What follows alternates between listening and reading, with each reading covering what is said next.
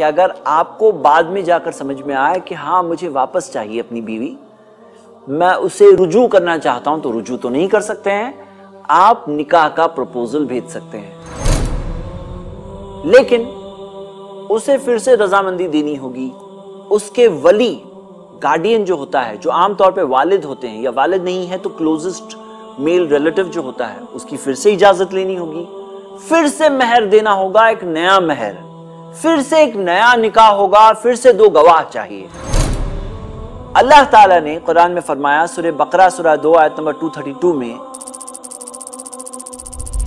वला तादुलुहुन्ना अयन किहना अजवाजहुन्ना इदा तरादौ बैनहुम बिल मारूफ। उन्हें मत रोको अगर वो अपने पिछले शौरों के साथ फिर से निकाह करना चाहती हैं, जब तक वो आपस में मारूफ तरीके से रजामंद हैं। आइए समरी में ये चार्ट से देख लें।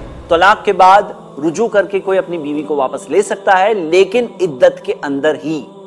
इद्दत का वक्त अगर गुजर गया, उसके बाद में फ्रेश निकाह कर सकते हैं।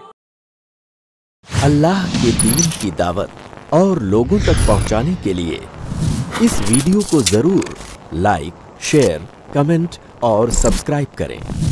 आपके इस चैनल को और बेहतर बनाने के लिए आपका साथ ज़रूरी है। आई प्लस टीवी बेहतर ज़िंदगी के लिए। अपने केबल या डीटीएच ऑपरेटर से आई प्लस टीवी आज ही डिमांड करें। I plus TV free to air और इंडियन रजिस्टर्ड चैनल है।